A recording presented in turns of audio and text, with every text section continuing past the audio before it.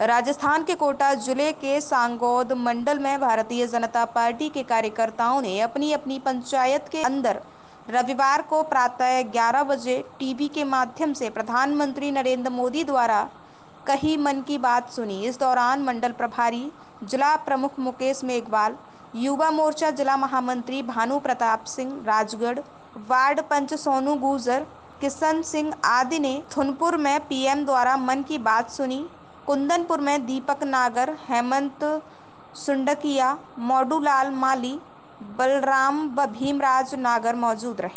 खाली खाली सा महसूस करता था।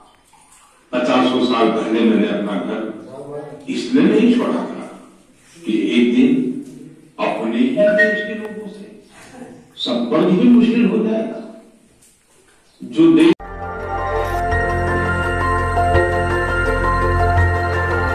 देखते रहिए डीबी भारती समाचार नज़र हर खबर पर।